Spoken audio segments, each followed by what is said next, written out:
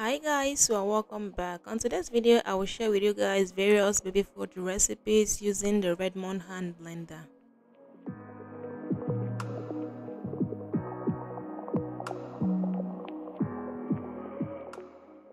To make baby food i like having a particular blender that is set out just for the baby food or for that purpose. I don't like using the regular blender i use in the house because of fear of pepper and stuffs like that.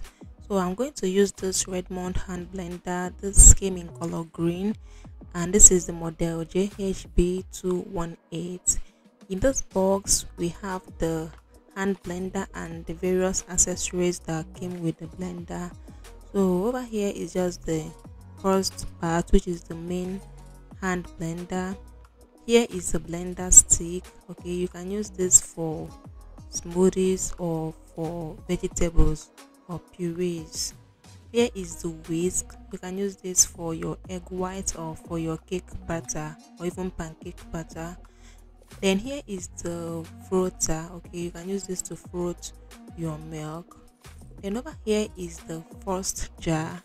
And this jar has a maximum capacity of 800 mils.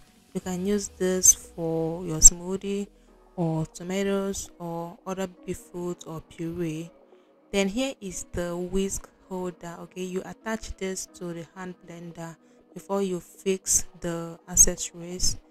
The last thing in this box is this chopper okay? This also has a maximum capacity of 800 mils and you can use this particular one for chopping meat for garlic fruits and vegetables this is the blade this blade is very very sharp. You just have to be very careful. Now i'm going to go ahead and just plug this hand blender into a power outlet and just show you guys the various settings and how you can attach all the accessories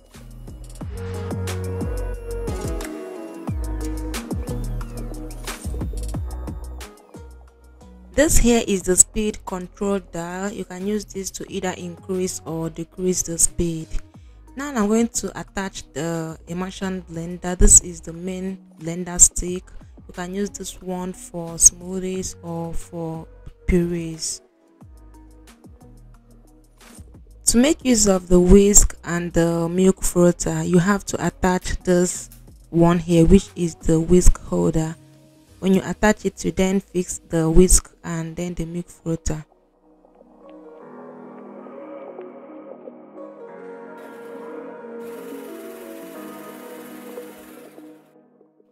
I also like that the sound that this blender produces is not too irritating to the ear.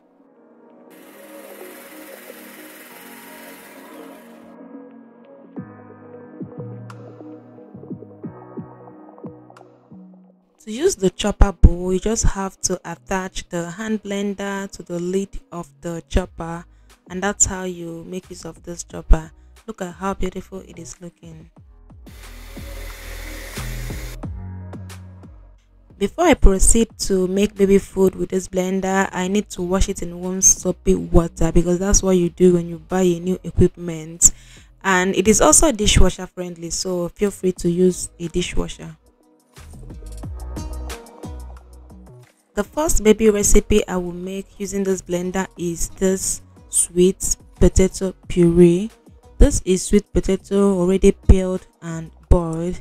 So for this I'm going to use this main stick immersion blender i added some water and let's just see if this blender will do justice to this puree the quantity of water should depend on the consistency you want the the puree to be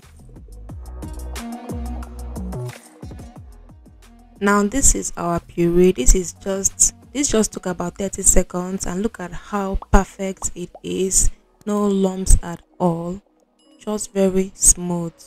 I also like the fact that you can use any other jar or bowl you have in your house with this blender. It depends like if you're making a bigger quantity you can just use your own bowl and it will contain more of what you are doing unlike the jar that is just 800 mils here i decided to puree this sweet potato without adding water at all just to see if it will still do justice to it and as you can see it is very very perfect. So you can make thicker consistency for older babies. And if the baby is much younger you can add fluid. To introduce some proteins to baby diet i like chopping up some meat some fishes and eggs as well. So here i have this smoked sliced turkey and i just used this blender to just chop it up and it did justice to it. So this particular one here can be used to chop your chicken goat meat beef fish to use for meat pies fish pies and all other recipes that call for chopped meat this right here can be mixed with baby cereal it can be mixed with fruit. You can just add maybe a teaspoon or a tablespoon of it to your baby cereal mix it and your baby will enjoy it. You can also add it mix it with fruits and your baby will also enjoy it. So the last thing i'm going to prepare with this blender is this onions and bell peppers I would say that this works like a food processor because you don't need to add water to blend your vegetables and your meat okay? So this one here I just used it to chop up this onion and this bell pepper and look at the end result. So smooth so so smooth. So that means you can also use this for your tomatoes garlic and stuffs like that. I hope you guys enjoyed watching this video and if you're interested in getting this blender you can check my description box for the link to this blender. And if you use that link you will get a 10% discount for this blender. Thank you so much guys for watching this video. And i hope you try out all those baby foods and share it with your friends that have babies.